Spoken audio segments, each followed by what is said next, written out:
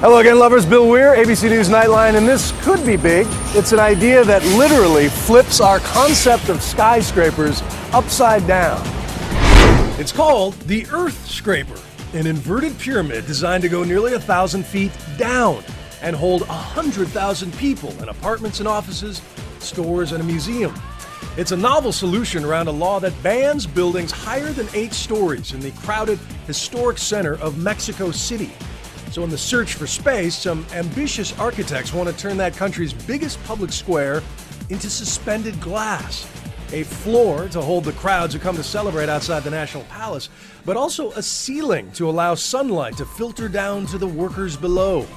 Going subterranean seems to be a hot idea these days. There's also this plan to turn an abandoned New York City trolley station into a utopian underground park using fiber optic cables to create remote sunlight. But subway depth is one thing. Going 65 stories down raises so many questions. So I had to Skype Earthscraper's architect Esteban Suarez to find out more. What about groundwater? Because isn't there a, a deep lake underneath Mexico City?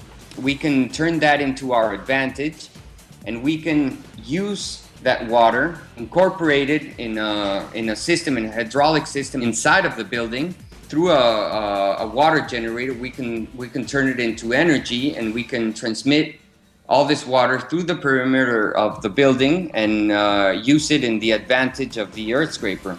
And if you're at the bottom and there's a fire, how do you get out? In a skyscraper, the, the obvious solution is just to go down through the stairs, but here you have to go up.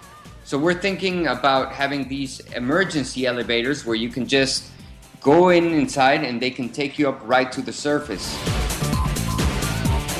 A lot of details to work out there. So what do you think? Would you live, work, or shop 50 stories below the surface of the earth? I'm at Bill Weir ABC on Twitter. And while you're there, send me your idea for innovation. And we'll see you next week on This Could Be Big.